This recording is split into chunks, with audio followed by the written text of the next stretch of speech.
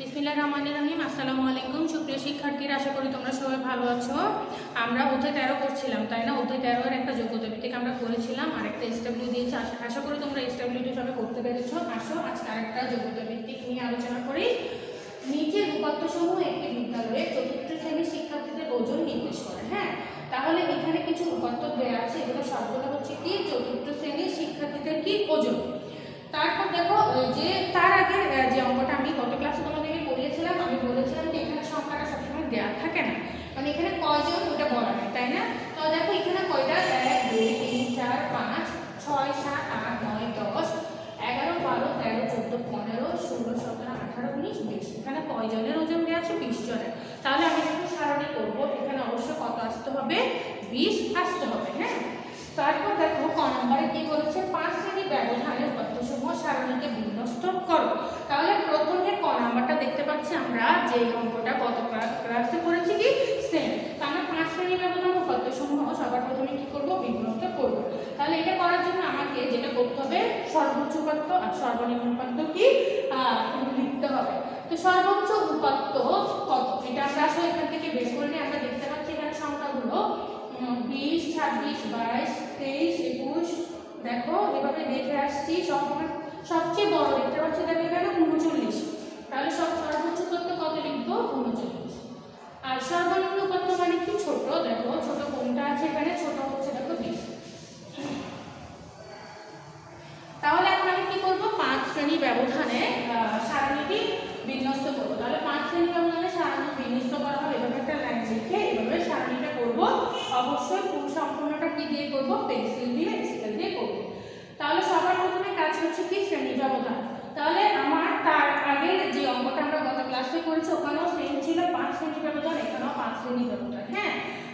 তো আমরা সেইভাবেই শুরু করব। দেখো সর্বনিম্ন থেকে শুরু করি সর্বনিম্ন কত? বিশ তাহলে বিশ একুশ বাইশ তেইশ চব্বিশ কোথায় গিয়ে শেষ হলো চব্বিশে সেই জন্য কি লিখব বিশ থেকে চব্বিশ আহ, আমি এখানে তোমাদেরকে একটা কথা একটু বলে নিই দেখো আমার সেখানে বিশ আহ, সর্বনিম্ন কত পেয়েছি থেকে আমি কি বিশ থেকে শুরু করেছি হ্যাঁ যদি দেখো এখানে সর্বনিম্ন কত কোন একটা অঙ্ক মনে করো পরীক্ষা আসলো ওখানে সর্বনিম্ন একটা কত পেলাম আঠারো হ্যাঁ কত আঠারো তাহলে তুমি কি এভাবে আঠারো থেকে শুরু করবে আঠারো উনিশ বিশ একুশ আঠারো উনিশ বিশ একুশ কি বাইশ তাহলে কি এভাবে লিখবে তাহলে এভাবে কি লেখা যাবে না লেখা যাবে কিন্তু কি অঙ্কটা দেখতে কি সুন্দর লাগবে না আমাদের যদি মনে করে আঠারো আঠারো শুরু করব কত থেকে পনেরো থেকে তাহলে পনেরো থেকে কত উনিশ হ্যাঁ পনেরো ষোলো সতেরো আঠারো তিন উনিশ তাহলে উনিশের মধ্যে কি আঠারো পড়ে যাবে হ্যাঁ অর্থাৎ আমরা আহ, পাঁচ দশ পনেরো বিশ কি পাঁচ ঘর ব্যবধান রেখে যে ঘরগুলো থাকে, ওখান থেকে শুরু করলে কি সারণীটি দেখতে কি হয়, সুন্দর হয়। আঠারো মাঝখানে ওখান থেকে শুরু করলে যে শেষ হচ্ছে কোথায়, বাইশে, তাহলে ওটা দেখতে কি সুন্দর লাগে না হ্যাঁ?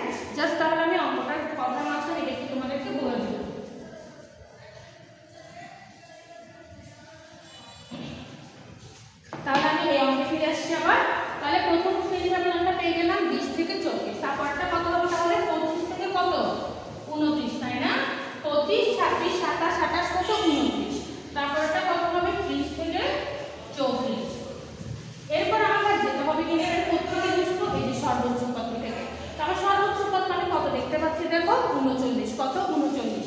তাহলে ত্রিশ থেকে চৌত্রিশের মধ্যে উনচল্লিশ আছে? নেই। তাহলে আমি দেখতে পাচ্ছি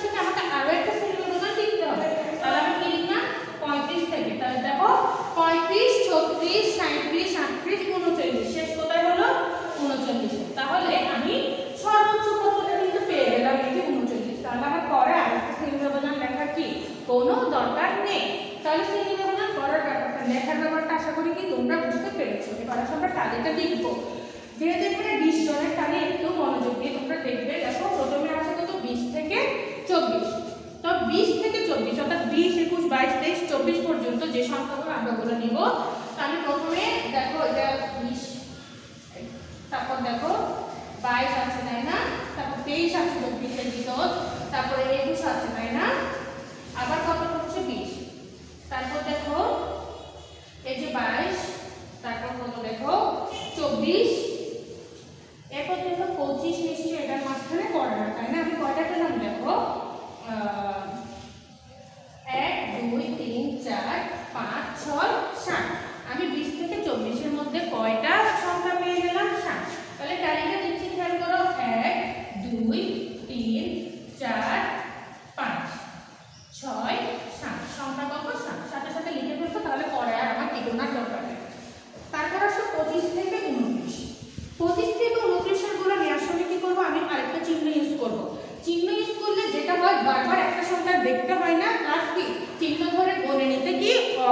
এটা হয় তাহলে এটা আসছে পঁচিশ থেকে উনত্রিশে চলে আসি। তাহলে পঁচিশ থেকে উনত্রিশের মধ্যে ছাব্বিশ পড়ছে, তাই না? ছাব্বিশ আমি একটা ঠিক চিহ্ন দিলাম। দেখো, এগুলো দেখার আমার দরকার নেই, যেহেতু আমরা নিয়ে ফেলেছি। তাহলে পঁয়ত্রিশ নিশ্চয় ওখানে করে না এটাও কত আছে? সাতাশ। তারপর দেখো আঠাশো পড়বে। একত্রিশ নিশ্চয় উনত্রিশের মধ্যে নেই। তারপর দেখো, বত্রিশ পড়বে না, তেত্রিশ পড়বে না, ছাব্বিশ কি? উনত্রিশে পড়বে পঁচিশ, ছাব্বিশ পড়ছে, তাই না? তারপর দেখো, এই যে পঁচিশ। এখানে কত ছোট? সাঁত্রিশ চৌত্রিশ আটত্রিশ উনচল্লিশ এগুলো একটা পড়বে না। তাহলে এখানে সংখ্যাটা কত আমরা কী করব? গণে নিই। এই যে ঠিক চিহ্নগুলো গণবে এক, দুই, তিন, চার, পাঁচ। কয়টা গেল পাঁচটা তাহলে এক দুই তিন চার পাঁচ নাম্বারটা কি আর আমি এখানে পাঁচ লিখে দিলাম তারপর দেখো ত্রিশ থেকে চৌত্রিশ তাহলে ত্রিশ থেকে চৌত্রিশ গড়ার সময় দেখো আমি যেগুলো নিয়ে ফেলেছি ওগুলোর দিকে আর তাকানোর আমার কোনো দরকার নাই তাহলে পঁয়ত্রিশ পঁয়ত্রিশকে চৌত্রিশের মধ্যে পড়ে পড়ে না তাহলে এখানে লিখব না তাহলে একত্রিশ পড়ছে একত্রিশটা আমি কি করতে পারি একটা বক্স করে নিয়ে ফেলতে পারি তাহলে তারপর বত্রিশ পড়বে তাই না আমরা কোথাও মধ্যে আছি ত্রিশ থেকে চৌত্রিশ তারপর তেত্রিশে নিশ্চয়ই চৌত্রিশের এরপর দেখো সাঁত্রিশ এগুলো আটত্রিশ একটাও কি চৌত্রিশের মধ্যে নেই। তাহলে এখানে সংখ্যা কয়টা? এখানে আমরা কি করব? বক্সগুলো বনে নেব। এক, দুই, তিন। কয়টা পেলাম? তিনটা। তাহলে এক, দুই, তিন। তালিতে কয়টা দিলাম তিনটা। সংখ্যা কত? তিন। এরপর আসো পঁয়ত্রিশ থেকে উনচল্লিশ। তাহলে পঁয়ত্রিশ থেকে উনচল্লিশে দেখো, সবার প্রথমে এখানে একটা পঁয়ত্রিশ পেলাম। আমি ক্রস চিহ্ন দিলাম। এই যে সাঁত্রিশ ছত্রিশ আটত্রিশ তারপর কত? উনচল্লিশ। সবগুলো নিয়ে যেহেতু আমার আর নাই। তাহলে এক, দুই চার, পাঁচ। পাঁচটা আমি কি দিব এখন? এক, দুই, তিন, চার, পাঁচ। এখানে কত লিখব পাঁচ এখন আমার কি করতে হবে মোট করতে হবে তাই না মোট কত দেখো এখানে কত আছে সাত সাথে সাথে পাঁচ যোগ করলে কত বারো বারোর সাথে তিন যোগ করলে কত পনেরো পনেরোর সাথে পাঁচ যোগ করলে কত হয়েছে বিশ আমি এখানে কত পেলাম বিশ এখন খেয়াল করে আমি তোমাদেরকে বলেছিলাম অঙ্কটা করেছি কিনা আমরা যাচাই করব আমি আমরা স- সবার শুরু থেকে গণে নিয়েছিলাম এখানে কয়জন ছিল বিশ জন আর আমি সংখ্যা কত পেলাম বিশ তার মানে আমি বুঝতে পারছি কি আমার অঙ্কটা এখানে কি শুদ্ধ আছে যদি দেখো যেখানে তোমার আঠারো বা উনিশ চলে এসেছে অথবা বেশি চলে আসছে তখন কি আবার চেক করে দেখবে কোথায় ভুল করছ তো আশা করি এটা তোমরা বুঝতে পেরেছ এটা তোমরা এখন তুলে নাও তারপর আসো খ নম্বর চলে আসি পঁচিশ কেজির কম ওজন সম্পন্ন শিক্ষার্থীর সংখ্যা শতকরা কত খেয়াল করে কি বলেছে পঁচিশ কেজির কম ওজন সম্পন্ন শিক্ষার্থীর সংখ্যা দেখো আমরা যে অঙ্কটা করেছিলাম এখানে যেগুলো ছিল এগুলো সবগুলো কি দেওয়া ছিল আহ, শিক্ষার্থীদের ওজন তাই না এখন আমাকে বলছে পঁচিশ কেজির কম ওজন সম্পন্ন শিক্ষার্থীর সংখ্যা শতকরা হার তাহলে মোট শিক্ষার্থী কজন ছিল মোট শিক্ষার্থী কজন ছিল তোমাদের মনে আছে নিশ্চয়ই বিশ জন আমি এটা বলে তোমাদেরকে দেখিয়ে দিয়েছিলাম তাহলে বিশ জন আর পঁচিশ কেজির কম সম্পন্ন ওজন কত সেটা আমরা কীভাবে বুঝব এই যে আমরা যে সারণী করেছি এখান থেকে খেয়াল করো বিশ থেকে চব্বিশ পঁচিশ থেকে উনত্রিশ সেগুলো সবগুলোই কি? আমার কি?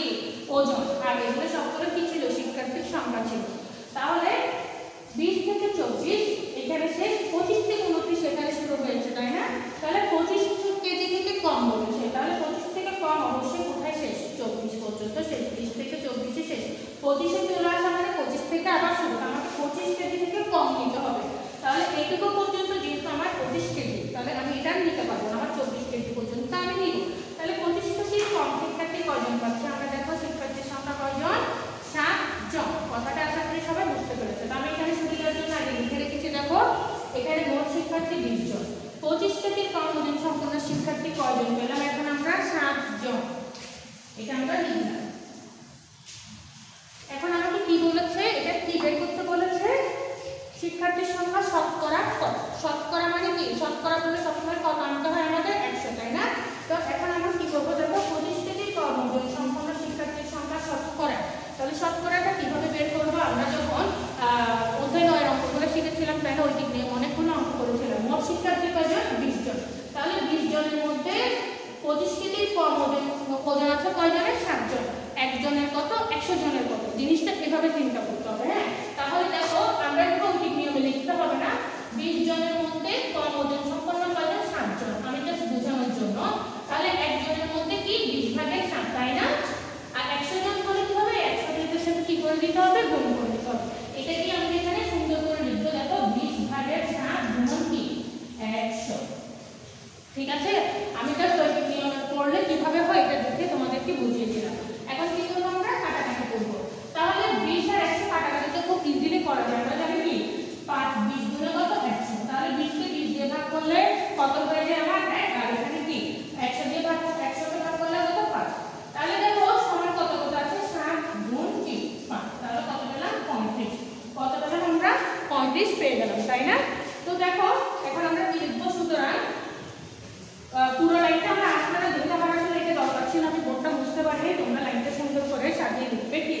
পঁচিশ কেজির কম ওজন সম্পন্ন শিক্ষার্থীর সংখ্যা শত- শতকরা যদি লিখো তাহলে কি লিখবে পঁয়ত্রিশ জন আর শতকরা সংখ্যা হ্যাঁ? আর পার্সেন্ট বুঝতে পেরেছ, তোমরা এখন এটা একটু তুলে নাও। তো দেখো শিক্ষার্থীরা, আমি এতক্ষণ ধরে যে অঙ্কটা করালাম, আশা করি তোমরা বুঝতে পেরেছ। এরপরও যদি তোমাদের সমস্যা হয়, যেহেতু নতুন ধরনের অঙ্ক, অবশ্যই কমেন্টে জানাবে আমাদেরকে। আর আমি এই টেক্সটের আরেকটা অঙ্ক তোমাদেরকে ডিসপ্লে দিয়ে দিব, যেটা ছবি তুলে দিয়ে দিব হ্যাঁ? পড়ার সময় কোনো সমস্যা যদি ফেস করো, তাও কি আমাদেরকে জানাবে? তো সবাই ভালো থেকো। ধন্যবাদ সবাইকে এতক্ষণ মনোযোগ সহকারে ক্লাস দেখার জন্য। আল্লাহ হাফেজ।